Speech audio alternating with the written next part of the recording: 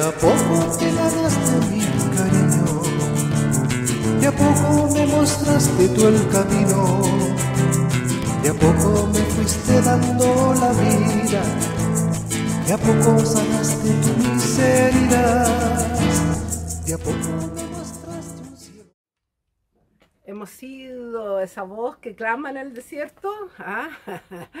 Tantas veces nos desilusionamos, pero no, pues nada de desilusionarse. Saber que algo en algún momento dado va a hacer clic y vamos a esa palabrita que yo dije en el desierto y que pensé que se estaba perdiendo con el correr de los tiempos, a lo mejor vas a darte cuenta que no, pero en una de esas, estando allá arriba con el Señor, vas a mirar y vas a decir, mira, dio fruto esa palabrita. Así que no tengamos miedo.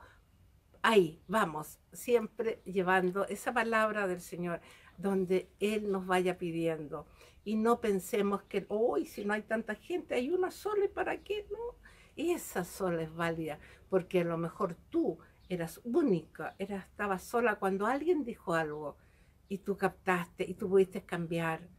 ¿Sí? Eso, muchas veces uno dice, no importa, yo quiero, hoy tanta gente, entonces me preparo bien.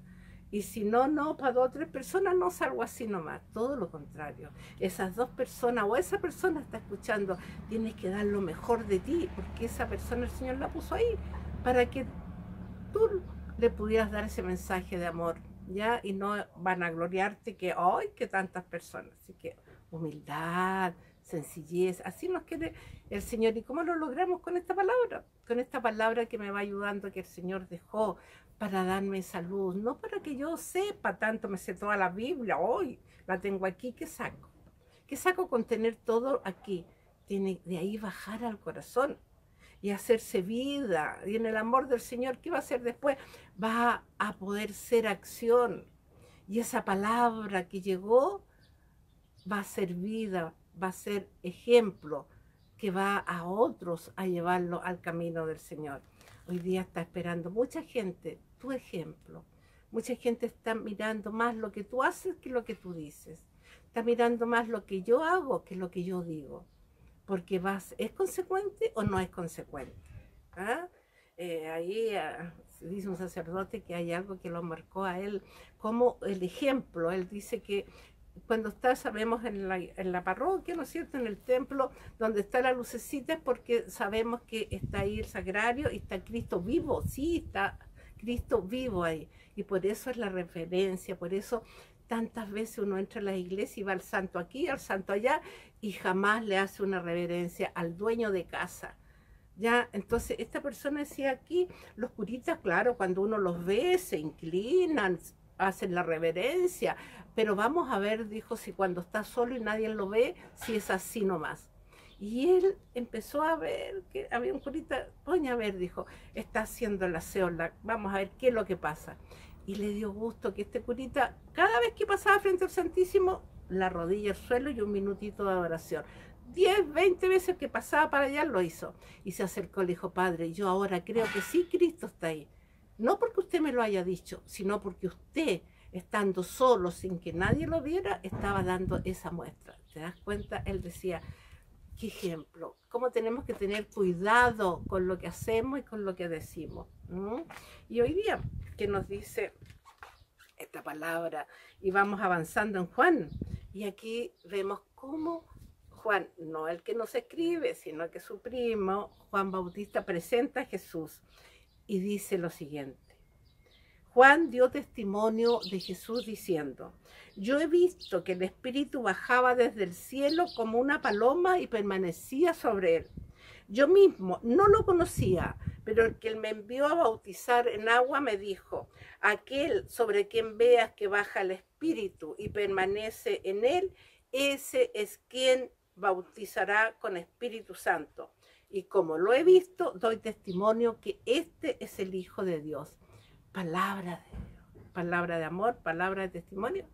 Aquí está él dando testimonio y da el por qué. Te enseña a ti y a mí qué cosas, cuántos hemos recibido del Señor, cuántas cositas pequeñitas, pero sabemos que el Señor ha actuado a veces cosas grandes y nos da vergüenza decirlo, nos da vergüenza publicar, sí, los milagros existen, Jesús está con nosotros, nos ayuda. No, qué ridícula. No, sé como Juan Bautista, yo me dijeron que bajaba el Espíritu Santo, la palomita sobre alguien, ese era el Hijo de Dios. Yo lo vi, por lo tanto yo lo digo. ¿Me creen o no? Es otro cuento, pero tú también, alza la voz, alza la voz dando testimonio de que Jesús es el Hijo de Dios que está vivo hoy y va a estar siempre para ayudarte, para seguir el camino que Él te ha mostrado.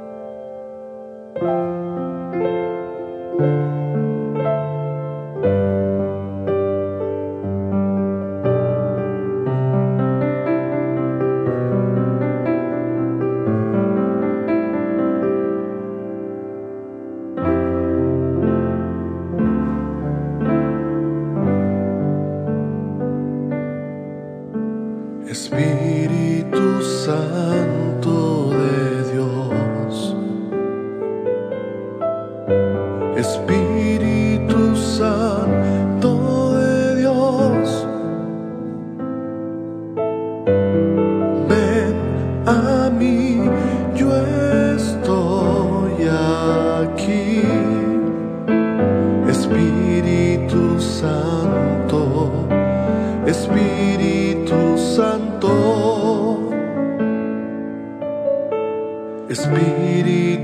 Santo.